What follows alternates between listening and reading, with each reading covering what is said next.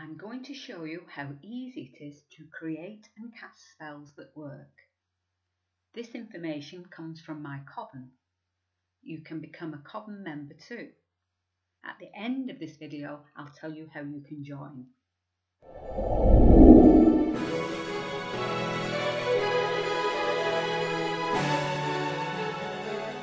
Hello, I'm Alizon from AlizonPsychicSecrets.com.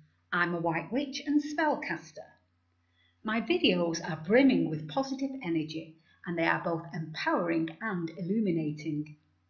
Please subscribe to my channel so you don't miss out on the positive energy and blessings I will send to you with love and light.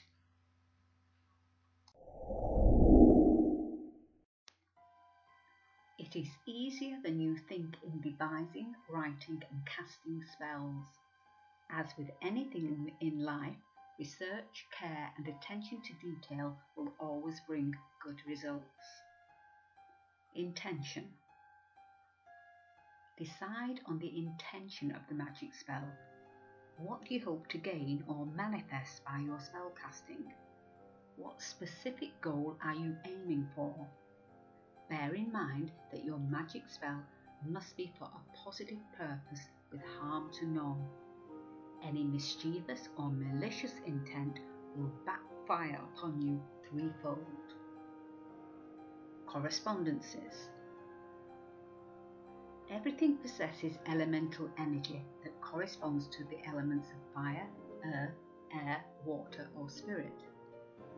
The term correspondences refers to the appropriate classification of many spell ingredients, objects, timings, directions, colours, emotions, and qualities, etc. It is very important in all magical workings and particularly in spellcasting to select the correct ingredients correspond to the outcome you are aiming for. Carefully choosing the right herbs, coloured candles or timings will reap benefits in your spellcasting practice. Select the matching correspondence to your aim. A magic spell for money manifestation could include green candles, green crystals such as aventurine, and herbs of sage or mint. The money spell could be cast at sunrise facing the direction north. A love spell would perhaps include rose quartz crystals, rosebuds or rosemary, and pink candles and be cast at midnight. Concentration.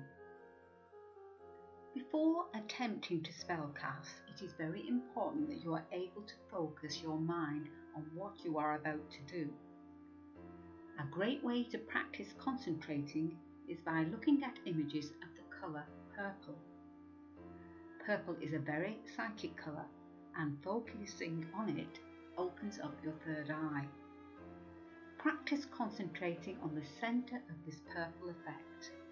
I will remain silent for a short while.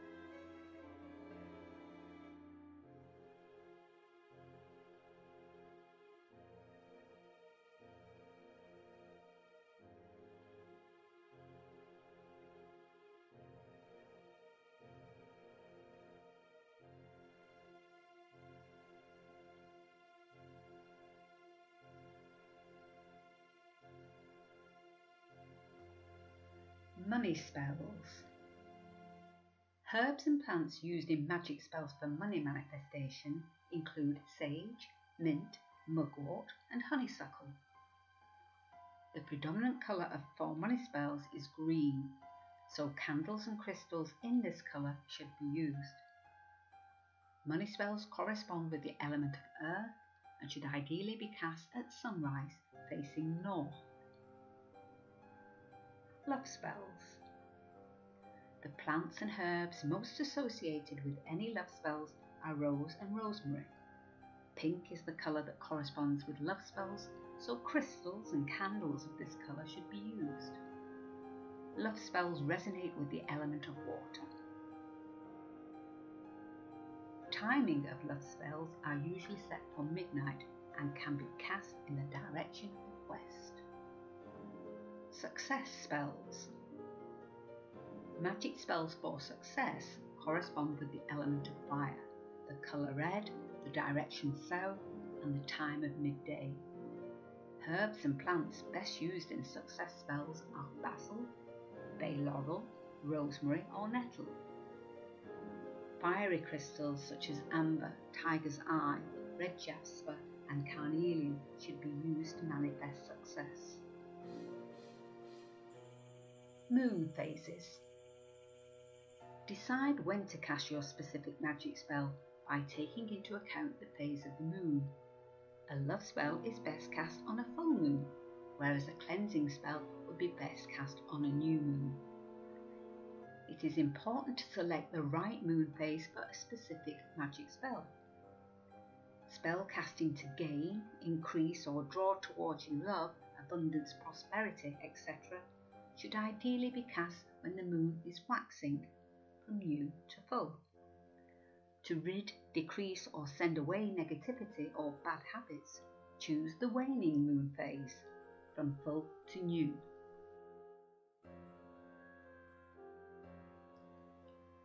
Wording It is not essential to have your magic spell worded in rhyme, but the very process of attempting to make a rhyming poem outcome of your magic spell takes time, energy, and effort. This ensures you have really thought about what it is you want exactly. Your magic spell should be written down. It must be spelled out to the universe. You must also speak aloud your spell, preferably three times, to ensure the universe can hear your requests. Be very specific in your magic spell request and include a time span there is a deadline. A magic spell to win the lottery, badly worded, may result in the lowest payout some years hence and not the big prize you wanted within months. A badly worded love spell may result in you attracting a bunch of weirdos. So be careful what you wish for as you just might get it. Traditionally, the words so mote it be should end your magic spell. This is a very ancient phrase and means so as I will it, so shall it be done. It is basically an affirmation that your request will manifest into reality. Spell casting. If you conduct any magical working half-heartedly with little thought to the ingredients, tools or wording, you will only achieve half-hearted results. So take great thought and care and give yourself the best chance of manifestation of your desires by taking each step of the spell casting process seriously. Remember that a magic spell cannot replace physical actions, only enhance them. So if you want to attract a soulmate into your life, you need to mix and socialise with lots of people. If you want a brilliant job, then you have to ensure your CV or resume is brilliant. If you want to win the lottery, then you have to buy a ticket. If you want to join my Green Witches Coven, then contact me. As a practicing White Witch, I use only positive energy in all the spells I cast, and this video is blessed with the same positive energy. I have cast a magic spell on this video so that its message of love and light can reach as many people as possible. To promote good karma and positive energy for yourself, please subscribe and share this video with all those you care about. You can contact me at my website of alizonpsychicsecrets.com.